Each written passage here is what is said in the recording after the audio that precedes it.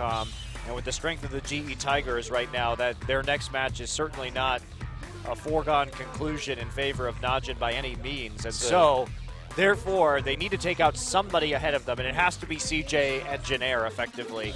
So if they lose tonight too, it's going to be pretty near impossible for them to come back and make the playoffs. It's a good point. Season's more or less on the line for Najin in this game. Kalista ban, of course, against Ohq. We talked about that earlier. Certainly a must ban against Najin right now. That Vagar ban as well. We're still on 5.3 until the week after next. Apparently, King really not very comfortable with that champion. Yeah. And Rumble will be banned. Again, a bit of a surprise considering that CJ has really emphasized that Rumble pick in earlier matches. Shy not wanting to grab it this time around, so see the same bans LeBlanc or Cassiopeia coming in from Najin. Will be ah, that's what I Viktor instead. I was wondering if we were going to see that Viktor ban. So a bit of a curveball from CJ. Nobody knew really that Coco could play Viktor. He hasn't debuted professionally previously. So now Najin, if they invented a game plan against his Ezreal, which did at the earlier stages of the draft look like a possibility in the last game, they'll feel more comfortable against that. But he's going to get LeBlanc or Cassiopeia available to him this game. Yeah, this uh, Viktor ban does open up a lot of potential first picks for CJ. There's a Xerath ban against Tank. And I'm just really curious to see if they're going to have Tank try to play something in a more, you know, engaged sort of style again, or if they're just going to give him something safer, you know, a Lulu, a Karthus. I think that would be definitely a better plan at this point. Tank did look like not the strongest player, a little bit confused about when he should engage, how he should engage on that Lissandra. Yeah, look nervous, which is something we really haven't seen from him yet. All right, Kassadin ban. That's a bit of a surprise considering that CJ hasn't really been playing around Kassadin very well in their last few matches. They haven't seen a lot of success with that champion, even if Coco can get him into the mid and late game without too much of a deficit. They really have failed to make plays when using that pick. Rek'Sai will be taken first. Okay. The Maokai pickup for Duke would not be bad at all. Although Shy can play Mundo, and Shy is such a good Mundo player, it was prioritized for bans by many, many teams. And Maokai Corki will head over to Najin. So we've seen Ohq really like to take some of the counter picks to Corki in the past, and now instead he wants to grab it himself. Had some great laning success last game in that matchup with Lucian. Well, saw them hovering over that Sejuani for a moment. Somebody's been watching some uh, EU LCS apparently. I think you uh, you take the LeBlanc here if Yeah. you're Coco. You, he hasn't even had a chance to play LeBlanc in such a long time. It has just banned every single game. It's such a safe all-around pick, and it's one of his best champions. Certainly grab it at this point in the draft if you can. You know, they may not be too worried about Tank taking that one, too. You know, with how his Lissandra play kind of ended out. I don't know if LeBlanc is a big threat, but it looks like they will go ahead and grab those two, waiting for the lock-in. And we'll see if Mad Life picks up that that Nami. Be interesting. Yeah, I think you grab There the Lulu. Yeah. Take the Lulu, try and attack Tank's champion pool just a little bit. Of course, Shy has shown that he is a fantastic Lulu in the top lane as well. Yeah, It's really been Lulu and Mundo that Shy has stood out on in the regular season. Yeah, his Maokai last game was great as well. In Sure. terms of zoning out the back line, he definitely did a lot more than Duke. Granted, he had better team fighting from the rest of his teammates as well. I think Duke did a good job with what he was given in that game. I'm still waiting to see Shy bring out that Kayle again. You know, it worked well in the preseason, but no interest in that in the regular season. And are they going to put Tank back on that Lissandra? I'm thinking they probably are. I mean, and Korean teams do this a lot. You know, if somebody has a bad game on something that they haven't done a lot of, usually they give them another chance.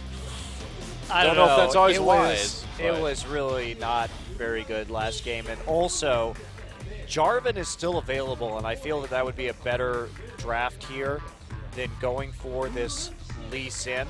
Yeah, if you're going to play Lissandra too, especially, but he's going to grab the Lee Sin. Okay.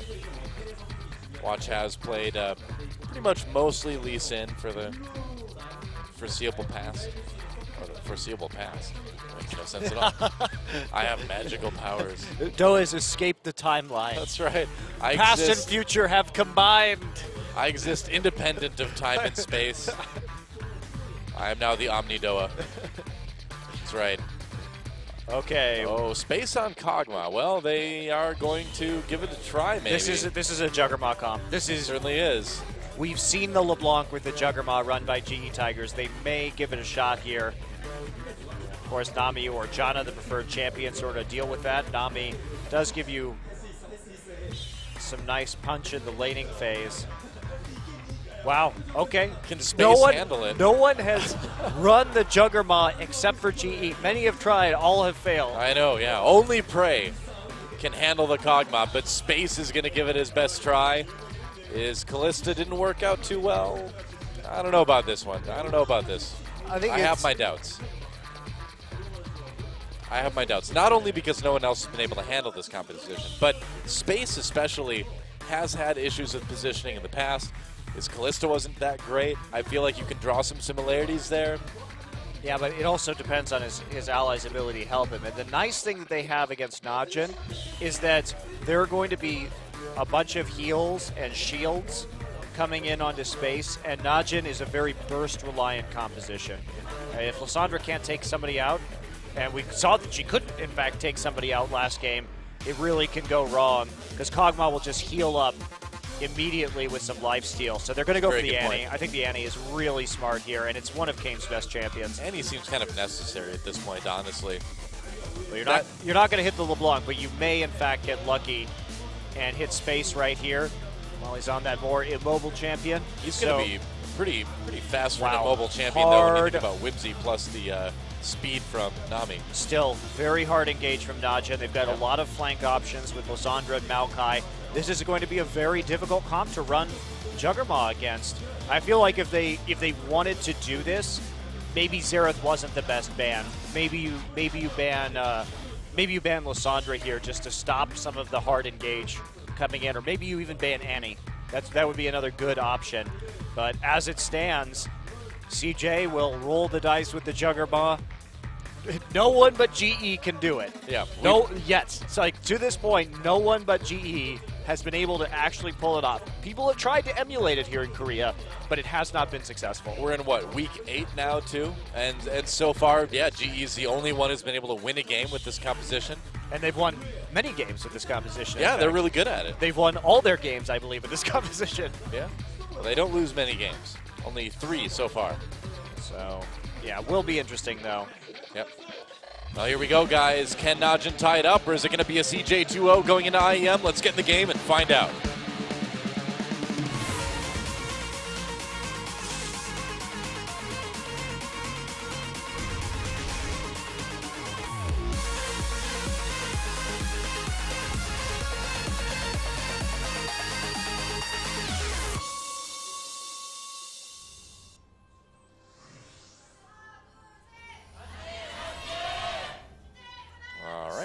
Here we go. Welcome to Summoner's Rift. CJ versus Najin, game number two. The Juggernaut back in action.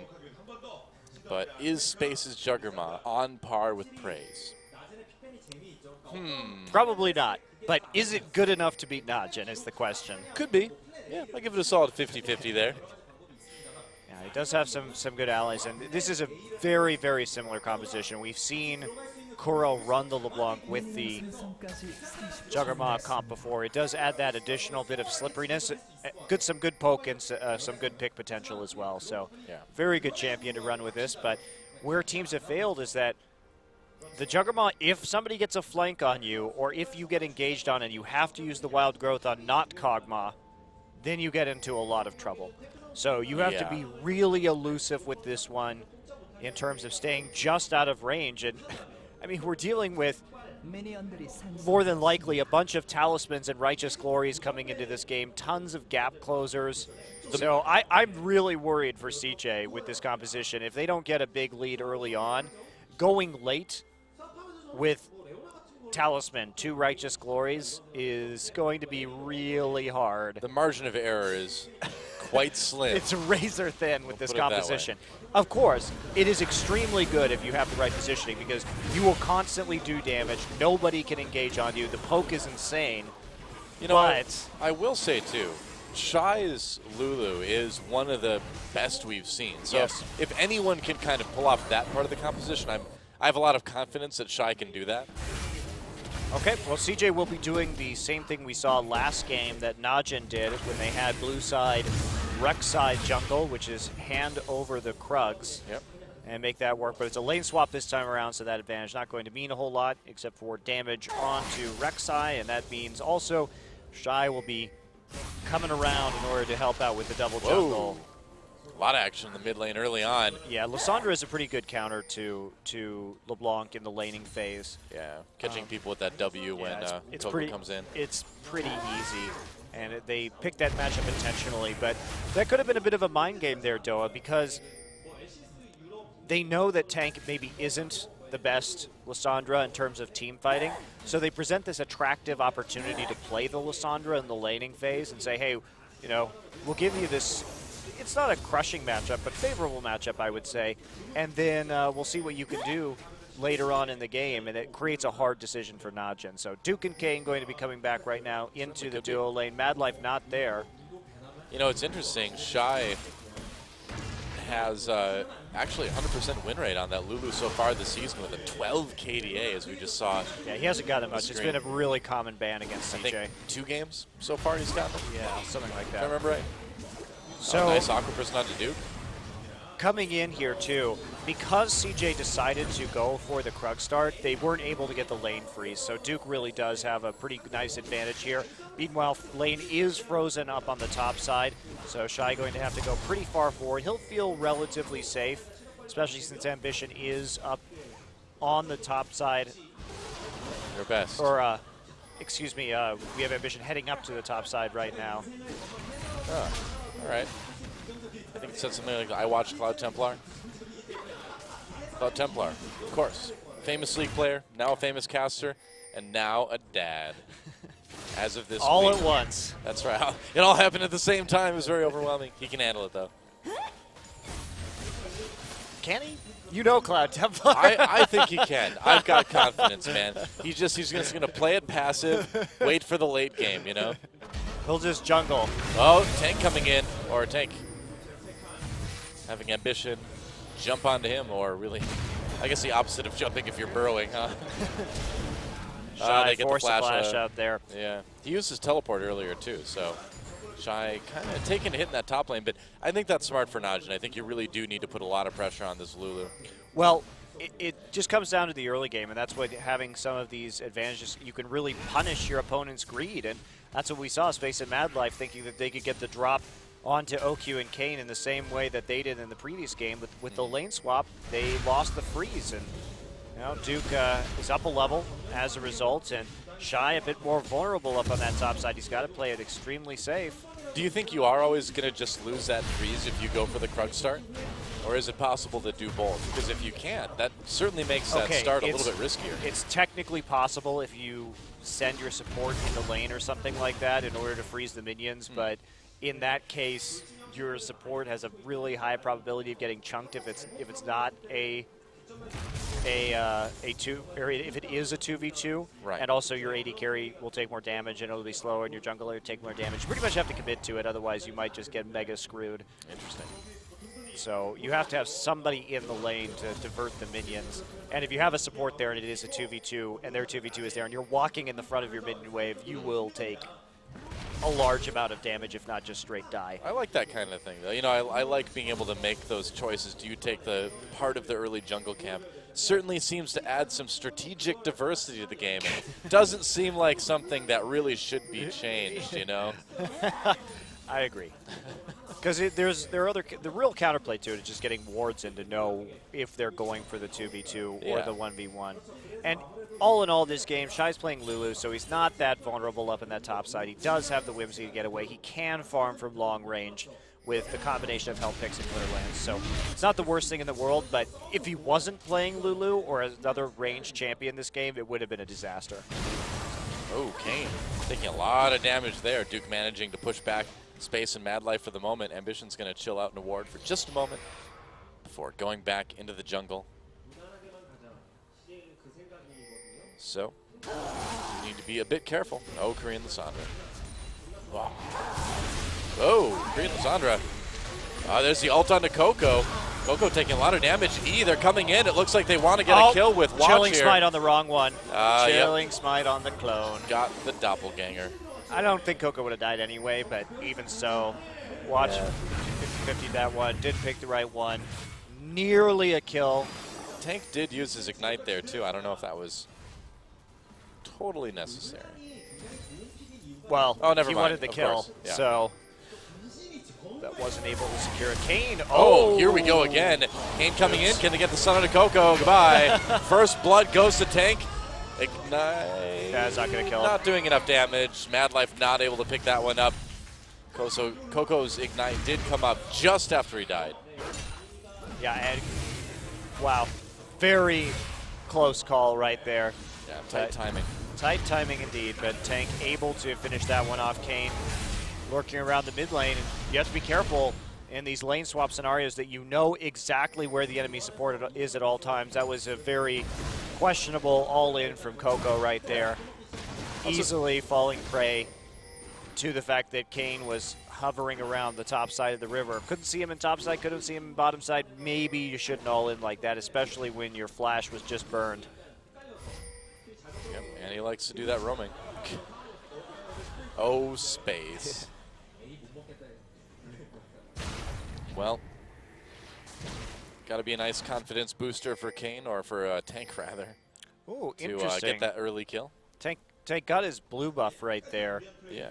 Uh, as we see the lane swap occurring, of course, Corki post six right now, so we'll have an easier time in the lane against the longer range of that Kog'Maw. So that'll be the timing in which he wants to go back and try entering that 2v2 again.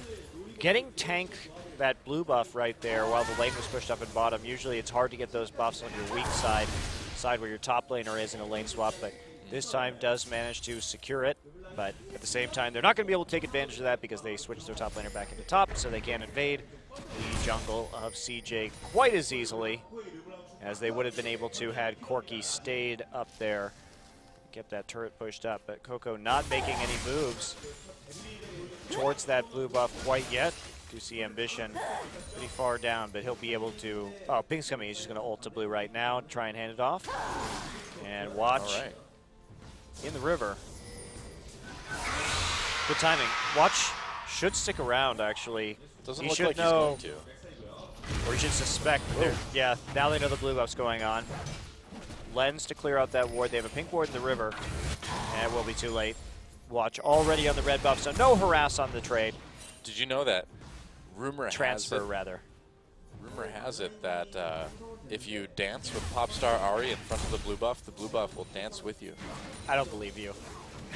Try it yourself. I think you're just making you're just making things up. You thought I made up the thing about the waste Jarvan crown, time. didn't you? Yeah, I think you just made things up to waste my time, Doa. Well, I guess. I guess people can just tweet at you and let you know, huh? Yeah, because the internet isn't full of trolls, Doa. We'll, we'll just pretend that's true. A source for accurate information since Accurate, was anonymous invented. information. That's right. The most accurate. Because it's unbiased, right? A little bit of damage onto Watch from Coco. They do have a ward there, so they'll see him. You're just going to have to test it in a custom game. I'm not. Nope. I choose not to believe what you tell me. All right. I reject. Suit yourself. I reject your dancing blue buff, Doa. Okay, wow, Ambition going really deep. Watch in a lot of trouble, and there's another kill, or a kill coming in for Mad Life. Tidal Wave comes through, they get the flash from Cain.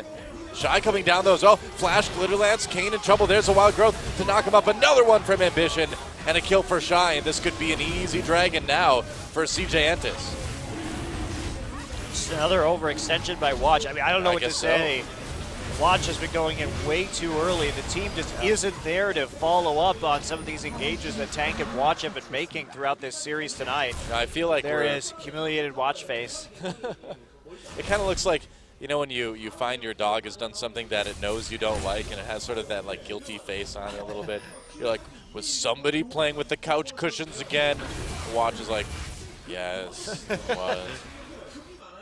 It's really just a, a very overbold engagement right there from the Lee Sin. And Yep. I guess I don't really understand fully what the rest of the plan was surrounding that play in the first place. Sure, you could kick somebody out, but they weren't going that far into the river You know, I think I would like to see Peanut in this game. Yep.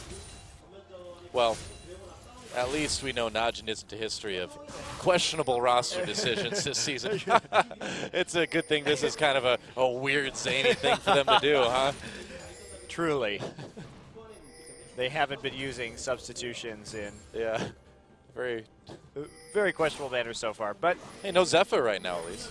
it's true. Could have gone with Zephyr this game. Ohq's been doing really well so far this series. Ohq Yeah. and Duke have really been on point. The other three of his teammates, maybe not so much. Rek'Sai coming in.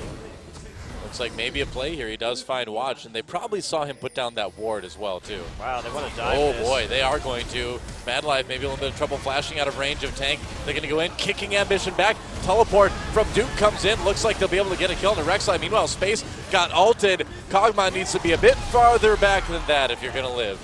Really good play from Najin. Yep. Right there, that was an abuse of uh, Shy's teleport timing since it was down earlier. They wanted to set up a Oh, play. Coco comes in. Ohq Oh, will wow, not live.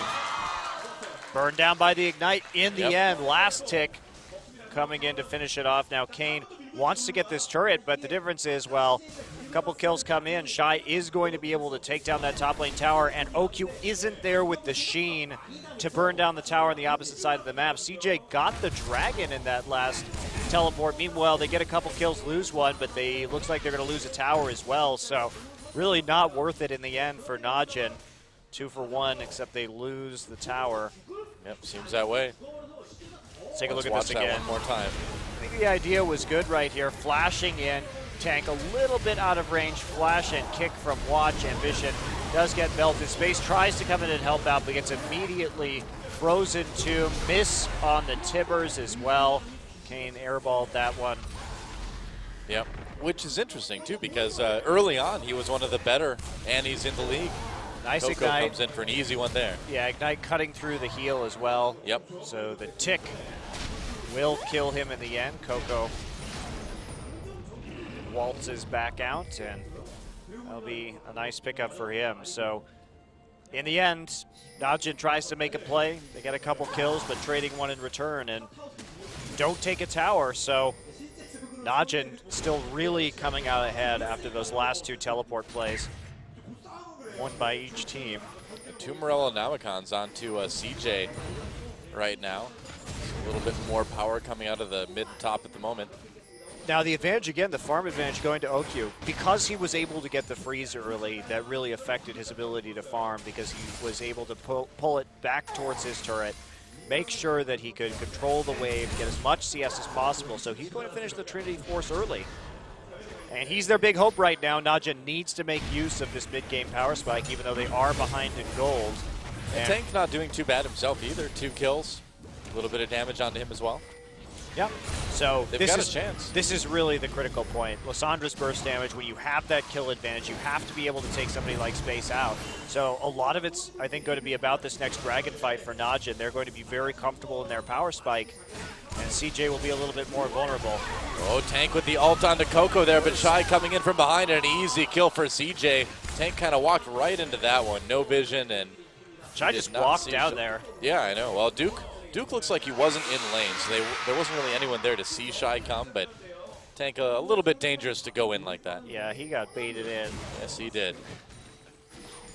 So that'll be his first death of the game, but extremely helpful. Shy's just been making plays all over the map. We talked about the threat that his Lulu represents, having drawn so many Lulu bans this season, and finally Uh-oh. gets a chance to pull it out again. I think Space and Mad Life are going to be. Are they really going to walk up to that? There's I a ward it. right here. They know they're there. If they, yeah, they should absolutely know that they're there. Should be pretty safe. A minute until that next dragon.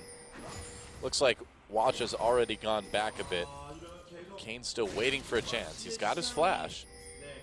And if they can win a fight right now, right before Dragon comes up, that can oh, help them even up. They're going to even try it and up. make this. Here we go. There's the scarring lane. Ken's, he's going to drop the Tibbers onto Mad Life. So an easy kill for Najin there, but teleport coming in for Shy. Cain already down here. Ambition wrecking people. It's going to be a wild growth onto Shy. A kill for Space already, and there's one for Coco. Really nice fight from CJ. beautiful bait from CJ. Look Yeah. at what happened right there. They knew they were in the brush, and so they they sweep the brush to cause Najin to kind of panic right there. Look at the spread on Space and Mad Life. No way you can hit Tibbers with both, so they were absolutely ready for that. Coco was sitting inside the Dragon Pit so that he wouldn't be seen by any wards in the river so he could come over.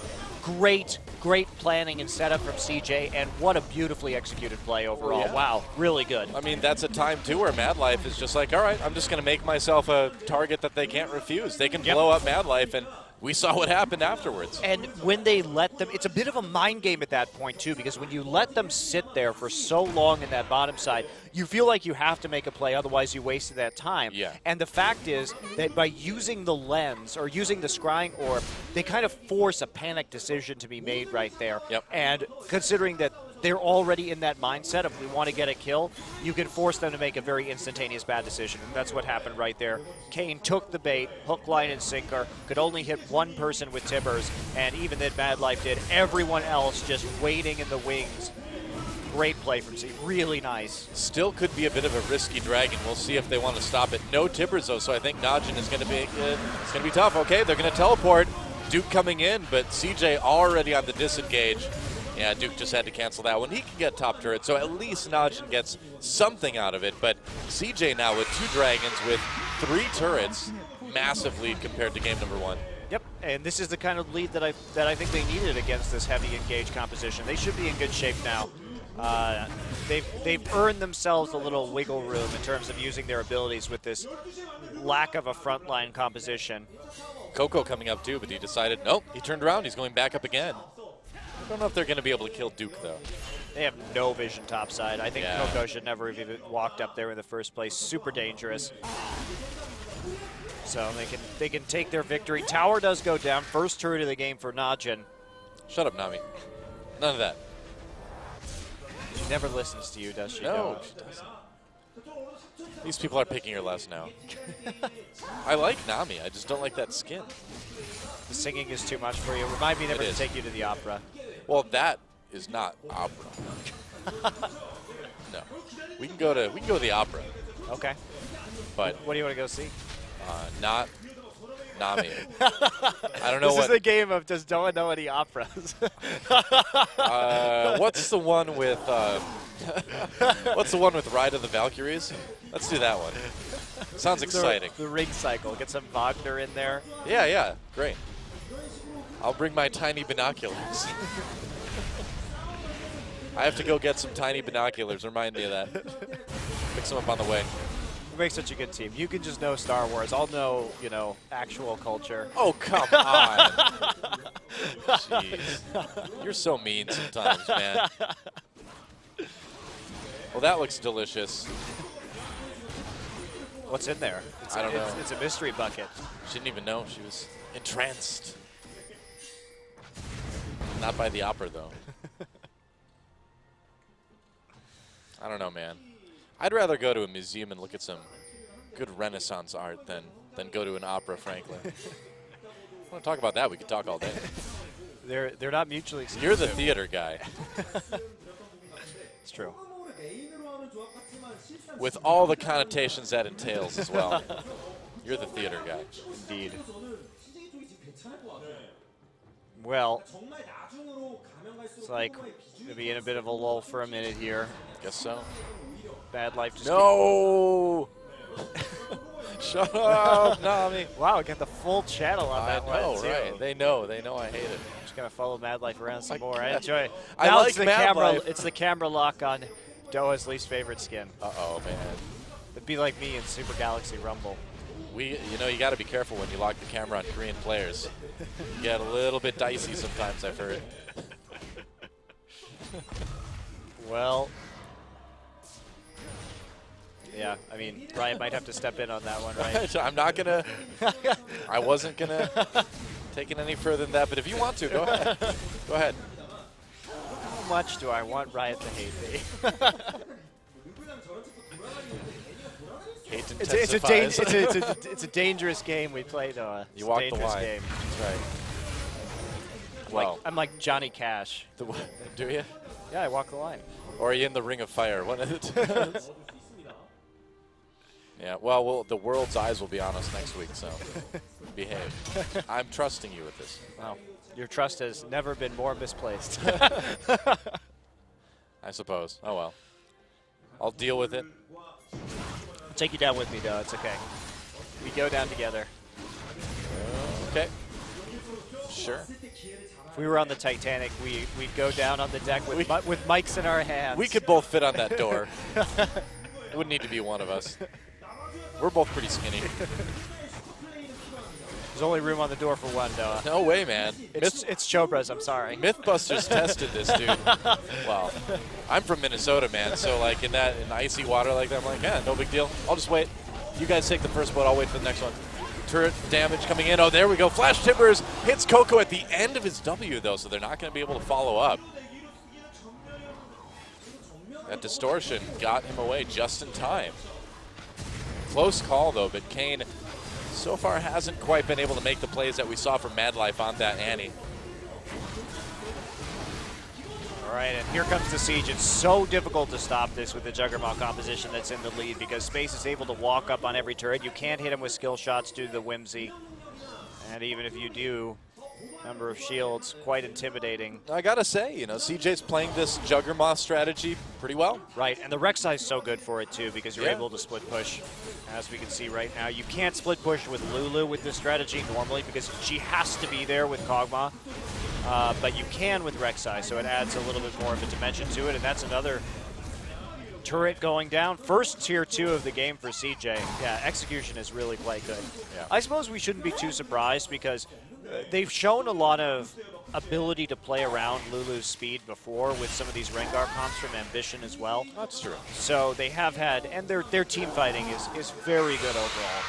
You know, the thing is, as well, is that CJ needed to diversify their strategy a little bit, and I think This is a, good. It's a good direction for them to go. The problem is is that Coco's still on this LeBlanc, which has proved to be pretty bannable. It's really good for CJ that they showed they can play Viktor tonight and showed a lot of skill with it because Coco has been sitting in this champion pool hole where he's got two oh. champions. Oh, There's some nice poke on to watch via Coco. He's got he's had two champions with which both play into double AD compositions. So if you ban out Kassadin and LeBlanc in the past, you basically force CJ into double AD. Yeah. And then you really know what's coming. So they become quite predictable. With a Viktor, that will be less of an issue, I feel. That's three dragons now to zero in favor of CJ Entus. Four turrets to one.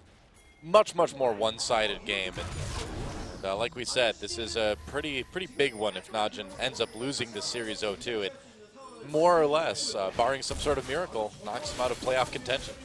It would be a, a very long shot for them to get in the playoffs. But Yeah. Still a chance, but very unlikely. Very unlikely. But that's not really it for Najin because I really feel that Najin has the strongest team in, in Korea on paper. I mean, their their roster is pretty stacked here, and they can use the rest of the season to fix some of these issues, continue to give players like Tank and Peanut some experience in the booth, and come around, come out of the gate stronger in the next season and try and make a, a run at it right then.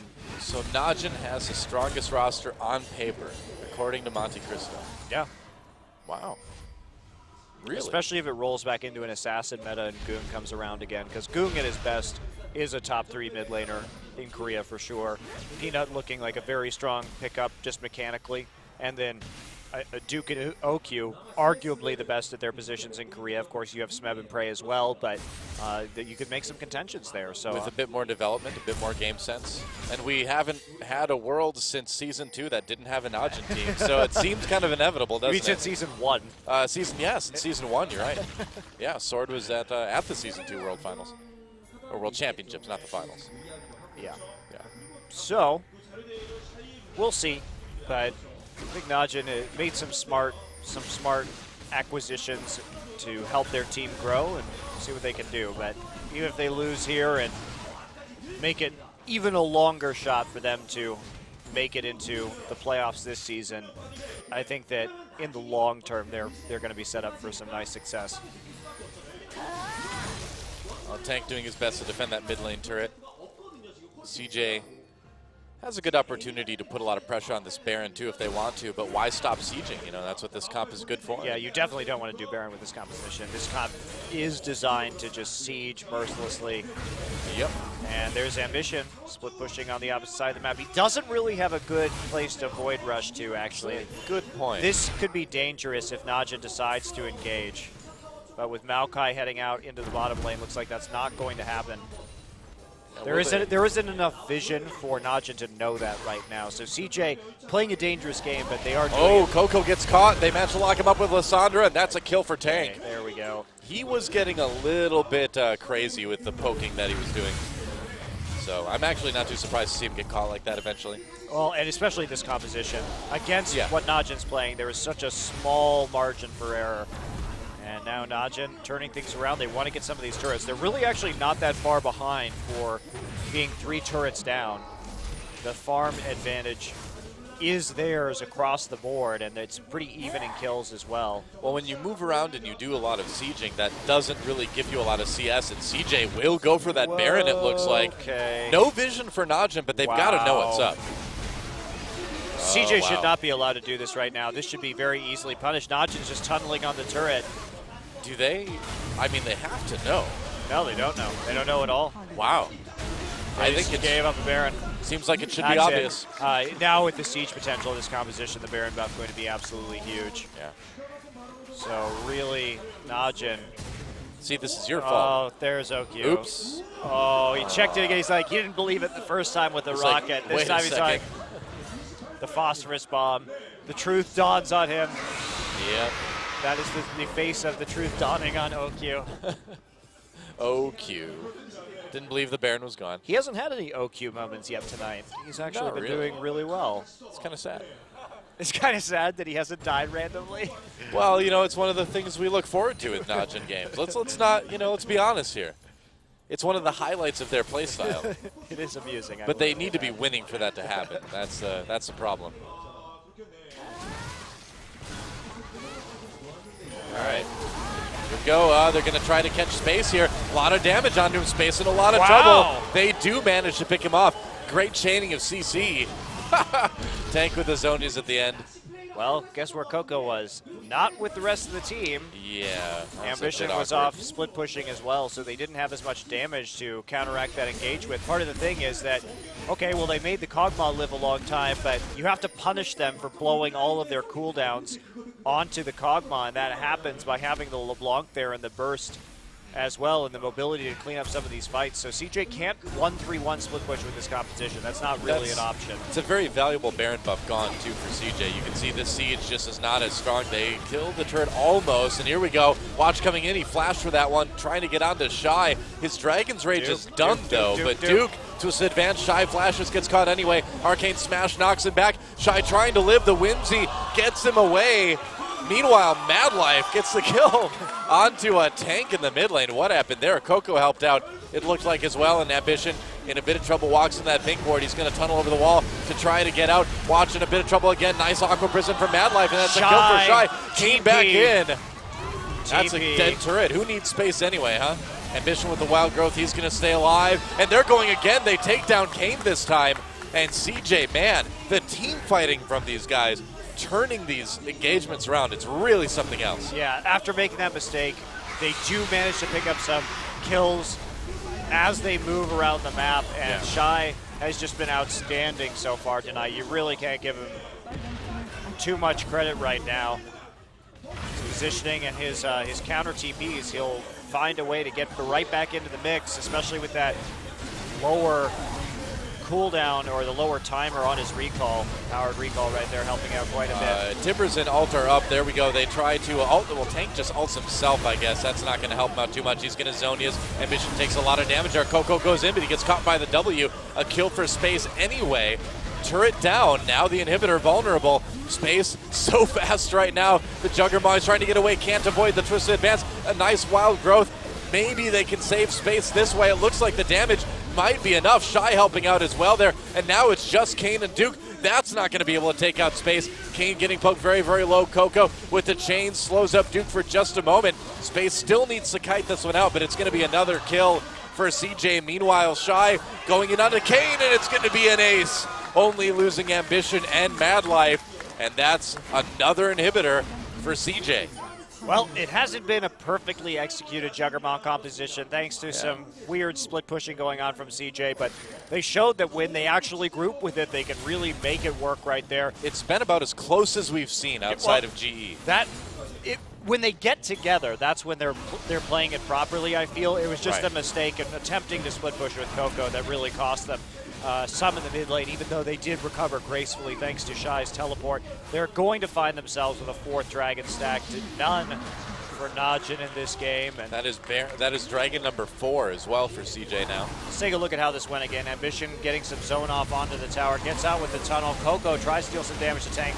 Tank goes in, ults himself, but Space so fast, so many shields again, uses the Blade of the Ruined King on Tank, and then autos him to death. And Coco just poking anyone who tries to engage, so they decide to go all in right here. Duke pops the Righteous Glory, uses his ult right there. They get back into the back line, but Coco right there to take out Ohq, and that's the problem when you have this LeBlanc on the enemy team. They don't even end up killing space yeah, you, in the end. If you dive onto this hyper shielded, hyper fast Kog'Maw, there's nobody protecting your own AD carry. And, right. And makes it easy for Coco. It does. And Shy there just with the follow-up kill. No mana, but does get him with an auto attack. And now CJ just powering through. Two inhibitors down. The game is theirs. Yeah. Well, Shy's got a Majizin at 506. Can't really argue with that pickup really good to see CJ diversifying some of their strategies again. And the foresight and planning in the games tonight has been really fun to watch, particularly that setup in the bottom lane, which they really just out mind game their opponents. Yeah, I mean, going into this week, CJ was like, all right, how are they really going to be able to do against Najin? But now, no doubt in my mind, these guys are back to back in form easily. Well, looks like not having a place to practice last week maybe did hurt them against SK Telecom. I still think know? SKT the better team, but SKT played really well. Oh, Tibbers not catching Coco quite in time. And tried it. And here we go, Coco going deep. That's an easy kill on Ohq. Wild Growth comes in, knocks up Duke as well. Ambition getting into the back lines. They try to come back onto Shy now, but I don't know what Duke's planning on doing there. Turret down, and CJ may be able to just end it here. It looks like they will. Watch a little bit trapped out. Cain extremely low. They're going to get another kill. They want an ace. Only Watch alive yet. There is nothing he can do to stop CJ from getting this 2-0 and proving that they may have missed a step against SKT, but they are still a top team here in Korea. GG. Shy, too. What a great game on Lulu. Proving once again why so many teams try to ban him out, ban that Lulu, ban that Dr. Mundo. He had a great game on Maokai. I think the meta really shifting right back around in Shy's favor. He may not do so well on some of these carry champions, although I do miss his Irelia and his yeah. Jax very much. But that was a little bit earlier on his career, but man, is he good on some of these utility tanks. Maokai, Mundo, Lulu. Well, Shy would not have lasted as long as he had without the ability to pick up other champions and become sure. just a master of them. And I want to see his Irelia again, though. I would love to see that. I want to see his Jax again a little bit more, honestly, but I don't think we're going to see Jax anytime soon. But we did see a 2-0 for CJ Entus.